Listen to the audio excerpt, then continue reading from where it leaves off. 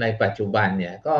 คงจะอยากได้อยู่แล้วล่ะ แต่ว่าแรงงานพม่าเองเนี่ย มันก็ไม่ได้ถูกขนาดนั้นไงมันก็มีส่วนถูกแล้วก็ส่วนแพงนะสมมติเราเข้าไปในเมืองแรงงานเองเนี่ยแรงงานพม่าที่อยู่รอดได้ก็ต้องมีสกิลที่สูงนะครับ แต่ว่าไอ้ไอ้ความแย่ก็คือ คือไอ้เวลาที่เราบอกว่าแรงงานถูกเนี่ย มันเราไปมองแค่ปลายทางแรงงานถูกไม่ได้นะแรงงานถูกเนี่ย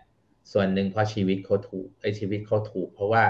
ฝั่งเราเองมันมันมันลด มันไม่ใช่แค่ว่าไปจ้างเขาถูกนะคำว่าจ้างเขาถูกคือมันไปลดมาตรฐานชีวิตของเขาด้วย ซึ่งมันทำได้มากกว่าแรงงานไทยนะเวลาเราบอกว่าแรงงานพม่าถูกเนี่ยไม่ใช่ว่าคนงานพม่าแม่งมาบอกเออจ้างเราเราถูกกว่านะ มันใช้อำนาจมันใช้เงื่อนไขกฎหมาย ใช้อะไรร้อยแปดที่ทำให้เขาสู้ไม่ได้นะครับทำให้เขาจำเป็นต้องยอมรับสิ่งนี้ เพราะว่า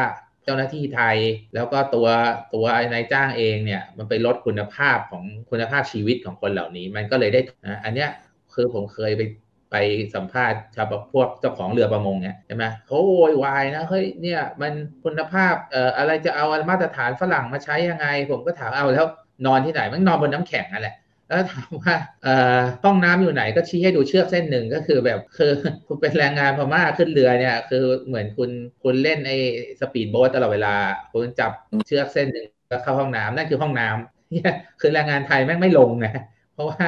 คุณมีทางเลือกที่ดีกว่า